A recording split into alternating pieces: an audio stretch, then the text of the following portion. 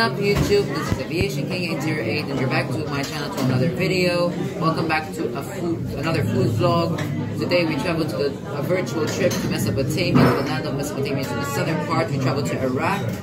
I'm so excited today because we're in the Ranya restaurant here in Kingston on Fife Road. And I'm so excited to share with you what Iraqi food is like here in Kingston as you know, in Kingston, there's a big population of Iraqis, so this is why it's so special. So sometimes in Ranya, what they do is that they give you a complimentary soup, with like lentils, and maybe it has, and it has some like water from a lamb or something, I don't know.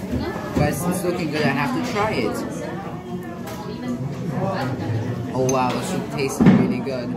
Especially you can taste the lentils and the lamb mixed together.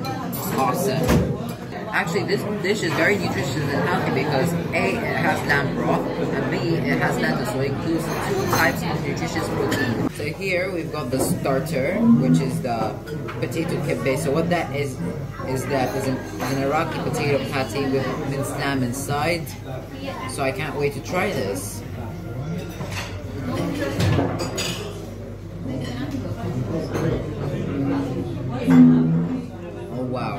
that potato kibbeh is actually delicious. You can actually smell the, the spices in it, like uh, the herbs and the, and the and the potato with that minced meat makes it top notch. I would give the potato kibbeh a 10 out of 10. The potato kibbeh actually tastes like an Indian pakora. But now, our main dish came, the dream. This is the, the Irania mixed grill so I've got some Iraqi special kebabs which are, which is basically like looks like an Adana uh, kebab, like an Adana uh, Turkish kebab. And then we got some like chicken uh, like cubes, like chicken tikka and lamb tikka kebabs. So I'm gonna rate the mixed grill overall. So the first best kebab I would say is the Iraqi special kebabs. Number two is the chicken tikka and number three is the lamb tikka. So next time when I come here I will order the Iraqi special kebab because that's their specialty.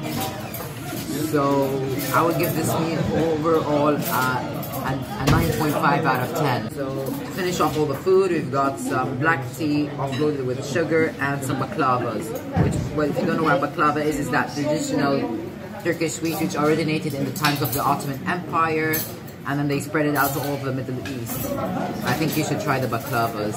That's it everyone, thank you so much for watching my video, I hope you all enjoyed it, don't forget to like, subscribe, and turn on post notifications so you know any new video I post, comment down below, catch you all next time, bye!